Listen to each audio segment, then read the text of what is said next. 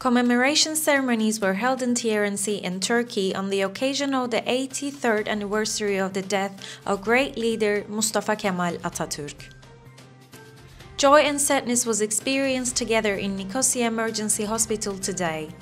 While 89-year-old Fatma Koç, who was treated for COVID-19, passed away, Ferhat Nurten Tuna couple's baby boy Yamaç opened his eyes to life.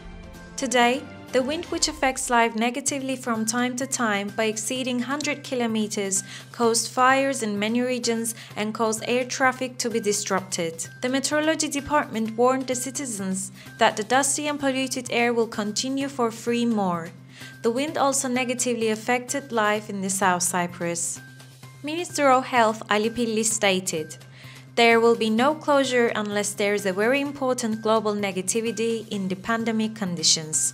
The program of National Unity Party, UBP, Democratic Party, DP coalition government will be discussed at the General Assembly of the Republic Assembly tomorrow.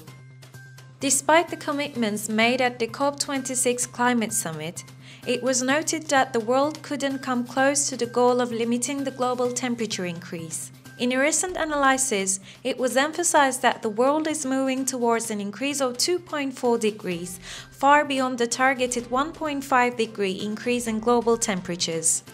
The dollar, which opened the day at 9.74, saw its new historical peak by climbing above 9.87 in the afternoon as inflation exceeded expectations in the USA.